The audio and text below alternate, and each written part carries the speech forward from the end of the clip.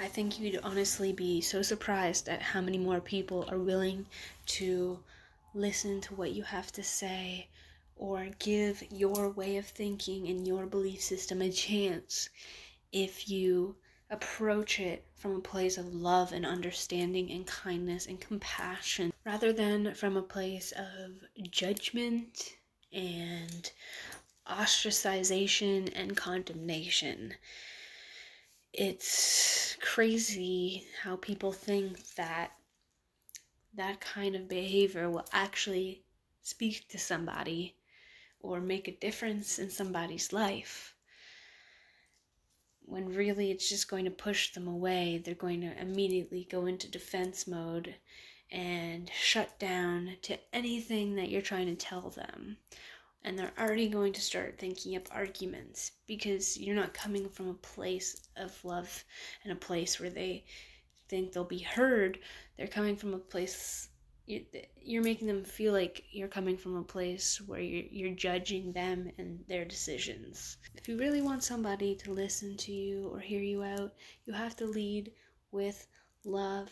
If you want people to adopt the same way of thinking or system of, of beliefs as you, the best way to entice those things is to be a living, breathing example of those things. So instead of trying to tell people who you are and why you are the way you are, just be who you are. Let them come to you.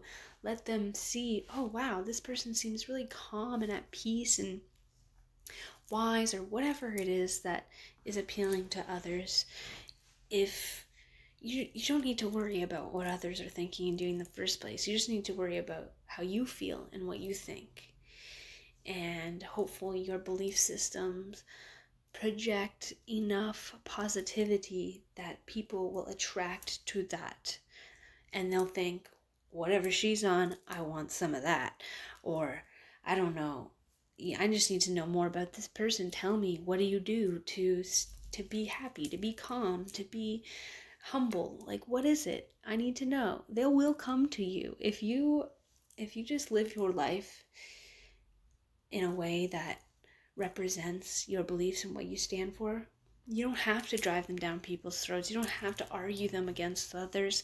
They'll come to you to find out more to ask questions and things that's how you lead with love that's how you live by example and that's the most effective route to go if you want people to be on the same page as you. Through love, anything is possible, and through love, all things can grow.